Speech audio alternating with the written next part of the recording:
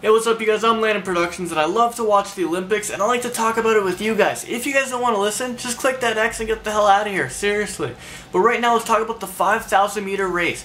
It's a long distance race, so who would you guess would win? Obviously an Ethiopian person or a Kenyan because they're known to be long distance runners and they're so damn good at it. So this year I've been following these races and let's talk about the women's 5,000 meter race. And the person that I've learned this year is Dibaba.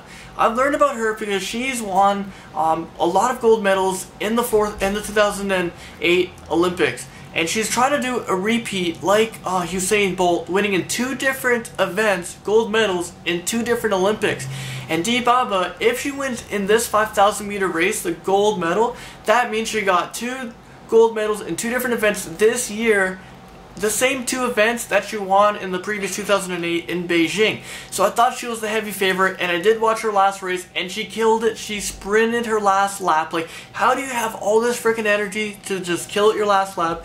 But anyways, I watched this race. It was about a 15-16 minute race, and she was kind of in the middle, Dibaba. And all the announcer would say is Dibaba this and Dibaba this, and if Dibaba wins, she's going to be up there with Usain Bolt. Dibaba's the best runner, Dibaba's this. So I'm starting to believe this commentator is saying that, okay, she's in the middle of the pack right now, and I think she's going to win this race no matter what, because this announcer is just making it out to be that she's the best, and she's going to win this race. I don't know too much about her, but Dibaba's going to win the race.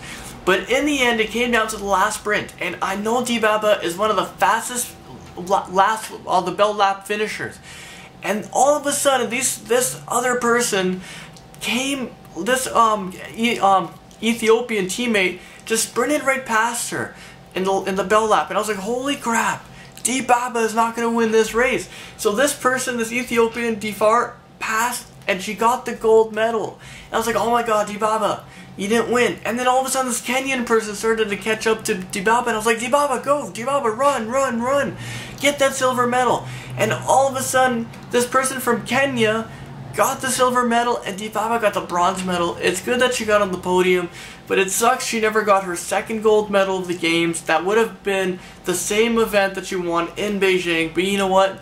Congrats, you got the bronze medal. You're a really good runner. We'll probably see you again. But let me know what you guys think. Did you guys watch this race? Do you guys know about Dibaba? Did you guys think Dibaba is going to win the gold medal? Let me know in the comment section below. Peace.